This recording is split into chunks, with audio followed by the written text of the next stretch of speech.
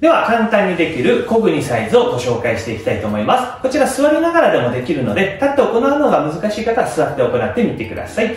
まずですねもも上げに合わせて手を叩いていきます。そしてですね縦縦と叩いたら今度はクロスクロスと。縦縦クロスクロス。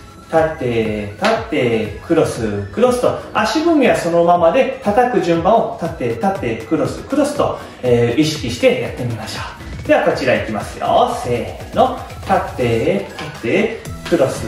クロスとそうですね。縦縦クロス。クロスとさあこのようにですね。